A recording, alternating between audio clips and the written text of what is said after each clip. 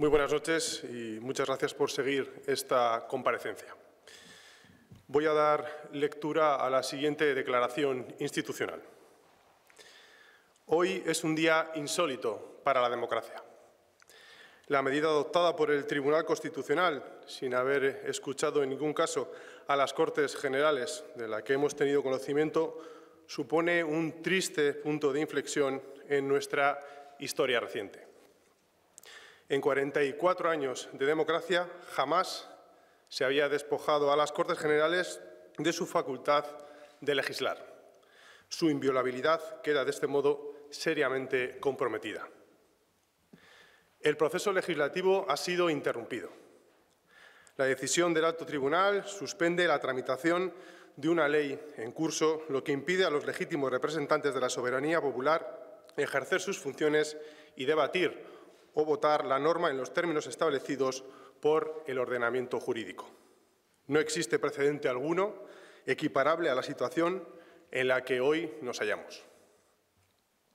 Desde la presidencia del Senado no podemos sino acatar y dar cumplimiento a la resolución del Tribunal Constitucional, actuando de conformidad con las previsiones legales y constitucionales, lo que no será obstáculo para que, una vez conocido y analizado el contenido y alcance de la resolución, se estudien las vías para preservar la autonomía parlamentaria.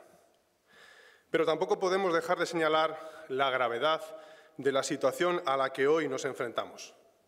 Se está dando un paso de difícil retorno en la degradación de nuestro sistema democrático. Fue Gregorio Peces Barba, ponente del texto constitucional y uno de los primeros presidentes del Congreso de los Diputados, quien introdujo mediante una enmienda in voce en el artículo 66 de la Carta Magna la garantía de inviolabilidad de las cámaras.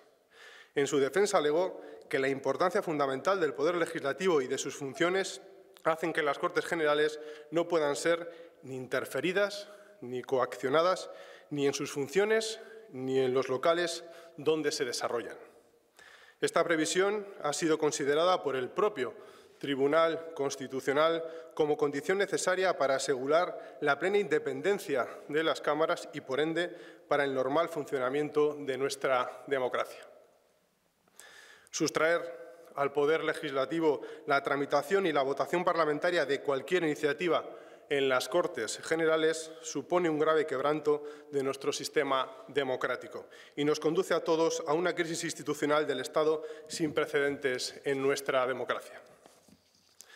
Pero mucho más grave resulta, si cabe, hacerlo mediante la instrumentalización de quien tiene como principal cometido garantizar la estabilidad del sistema constitucional al profundo menoscabo de las instituciones del Estado generado por el injustificable bloqueo del Consejo General del Poder Judicial y del Tribunal Constitucional se suma ahora la instrumentalización de este último órgano por parte de quienes irresponsablemente han tratado de obtener de él lo que no pueden extraer del debate legislativo ante las cámaras.